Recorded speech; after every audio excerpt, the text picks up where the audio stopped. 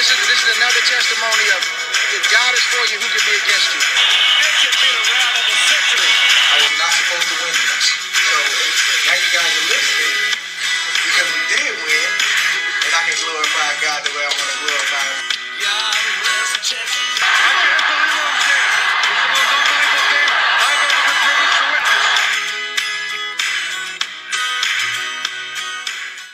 Welcome, welcome, welcome to another episode of the Boxing Bookie. I got a good show for you today. We're going to show you how to make money on Leigh Wood versus Josh Warrington. Really intriguing fight, a really good fight. I think it's a fight we can make a lot of money on. I'm going to show you how to do that in just a minute. Uh, but before I do, please like, share, and subscribe. Follow 3D Boxing, 3D Boxing Blog and all forms of social media. Uh, the Boxing Bookie comes at you for every major fight, and we've already got great testimonies of people making money. I'm going to show you how to make money. Uh, on boxing. The boxing odds makers, the bookmakers don't know how to handicap the sport. I'm going to show you in this fight.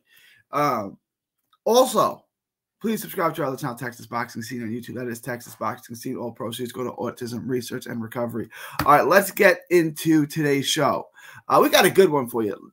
Warrington and Wood is a fight of the year type of fight on paper. Um, and it's a really intriguing fight. When I saw the odds, I, I, I was a bit surprised. I, I, think Leigh Wood is a bit overrated from his last two wins. I think his last two wins show you that he fights into the hands of Josh Warrington. Uh, look, look, Wood's got power. He carries his power late. Definitely carries his power late. He's got uh, the, the, win over Conlan. He's got a late win over uh, Reece Moulds. He's got a, a late knockout over Xu Can in another really close fight, which I thought he was winning, but who knows what the judges have, right? Who knows? It was a really, really close competitive fight, and and Wood pulled it out with a, a 12th round knockout again.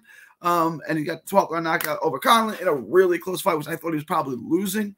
Um, so he carries his power weight. But I want to show you how his last two wins kind of fight into the hands of Josh Warrington, right? Like those two wins really put him on the next pedestal, and I think that shows you that he fights into the hands of Warrington. Warrington's a high volume, pressure fighter, and I think his power is a little underrated. I really do. Like I, I understand, you know, um, Warrington's pop, his knockout percentage is pathetic, right? He's got like eight knockouts and 32 wins. It's not good. He stopped Kiko Martinez. He had Luis Alberto Lopez hurt a couple of times late in that fight. Lopez has an iron jaw, right?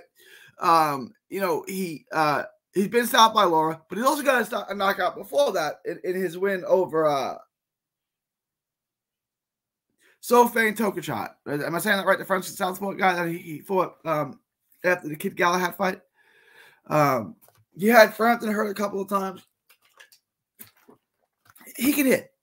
He can hit. Um, I'm not saying he's going to knock him out. He's not going to knock him out, but I'm saying he's not feather fisted. That's my entire point. He's not feather fisted, right? Like you can't. He, he's not Paulie Malignaggi. You're not going to just walk through shots, even though his knockout percentage is trash. Um, so I, I think there's that. And if you look at Wood's last two wins, the two wins that kind of propelled him, right? And Wood's a good fighter. He's just really, really footy. He's flat footed. He, he's heavy up the front foot. He, he, gets hit by everything. He's got a weird guard. Uh, Warrington get it on the inside and land the uppercut, split the card, and land from different angles. Um, I, I, don't like the, how Wood throws in combinations. He leaves himself wide open. Um, Warrington can counter him. But if I look at this, I, the two wins that have really propelled Wood's status the win over Conlan. Conlan faded late. Conlan was winning the fight. Conlan faded late. The second one, Lara. Lara didn't throw any punches. Lara had knocked him out when he did, and when he didn't, he, he lost wide, right? So you got one guy who didn't throw any punches, one guy who faded late. What I can tell you for sure, with 100% certainty, is that Warrington's not going to fade late, and he's going to throw punches. So neither of those things are going to play into Wood's hands. He's not going to have either one of those advantages. Now, Wood keeps his power late, like I said. So that's going to be the last thing that goes. There's, there's, two ways I can see this fight ending. Warrington piles up the points, stays on his feet, wins his decision. Or Warrington, in his aggression, walks into something and gets knocked out. Those are the two possibilities. I think Warrington survives. I think Warrington's going to pile up the points. I think there may be some scary moments where he does get tagged, but I think he will see the end of the fight and he'll win a decision. All right. So, what does that look like as far as gambling? Well, let's take, and I was surprised by these odds, but let's take a look. Leigh Wood is a minus 255. So you got to bet 255 to make 100 bucks. Now, Warrington is being paid, Warrington to win on the money line is basically paying two to one, 195, one dollar, one dollar bet makes you $195. The other bet I like is Warrington plus 215. Uh, I'm sorry, over under on 10 and a half rounds is plus 215. They're telling you that Wood is going to knock him out through 10 rounds. Could happen. I don't see it. He didn't knock Xu Can out within that, that distance. He didn't knock Mike Conlan out. Warrington is better than both those guys. I think this run right here is a good bet.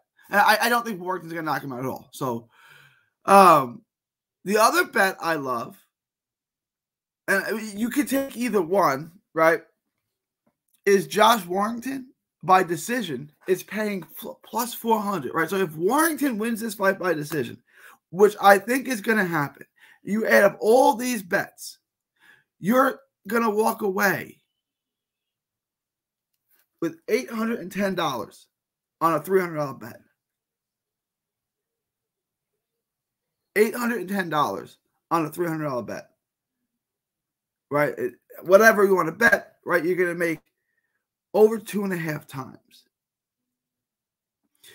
If you wanted to hedge that and Leigh Wood wins by knockout, because he's not, I can't see him winning a decision. If Leigh Wood stops Josh Warrington, that pays 285.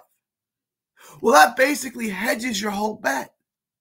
Now you lose 100, right? So you'd walk away. If you make this bet, if you're doing what I tell you to do here, and you bet Wood to win by knockout, you're going to lose nothing. You're going to lose $15 on a $300 bet. Okay, so your downside is $15. Uh, I'm sorry, $15. Um, yeah, your downside is $1,500. Sorry, your downside is $15. It's the most you can lose if you, if you bet this way. Okay. If I'm right, you're going to make $710 on that bet, right? So your downside $15, upside 710. This is what I mean. They don't know how to handicap the sport. If I'm wrong, if I'm 100% wrong, and Wood knocks him out in two rounds, you lost $15. If I'm right, you made 710. This is I'm saying. They don't know how to handicap the sport. This isn't even gambling. This is investing. This is taking making wise business move, weighing upside versus downside. Again, I'm in Texas. I can't bet on DraftKings. I can't use this website. I don't gamble. But if you do, take it from a professional, someone who's done this many times in the past. I no longer gamble. This here, what weigh your downside versus your upside. I, if you lose the fifteen dollars, I can get you that money back on a Hopey Price fight. Right? I can get you that money back. But this, look at the upside versus the downside. Let me know what you guys think. Leave your thoughts, comments below. Uh, please like, share, and subscribe. Follow 3D Boxing, 3D Boxing Blog on all forms of social media. Work with the bookie, the boxing bookie, show you how to bring down the house. Also subscribe to Texas Boxing Scene. All proceeds go to autism research and recovery. It is October 2nd, 2023. Uh, from Texas to the world, thank you and God bless.